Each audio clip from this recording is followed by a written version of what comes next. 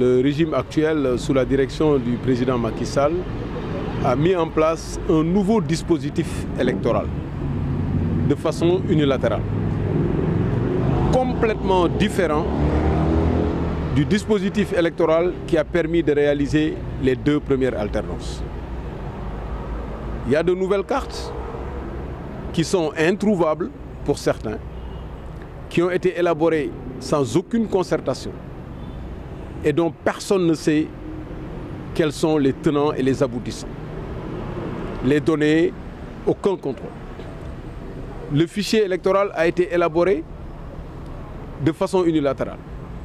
Et il a fallu la pression de l'opposition pour que la loi électorale soit appliquée, enfin, qu'il promette de l'appliquer pour qu'on puisse accéder et auditer le fichier.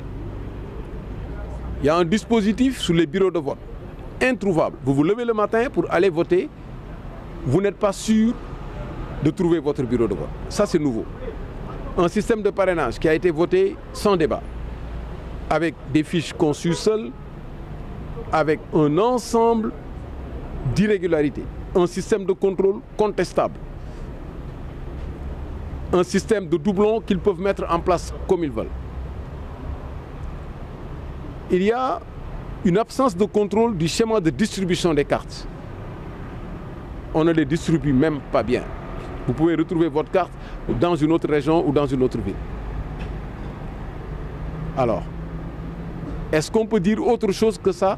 Qu'il y a un nouveau dispositif électoral qui a été mis en place de façon unilatérale par le régime actuel pour garantir un second mandat qu'il ne peut pas obtenir si les élections sont libres et transparentes.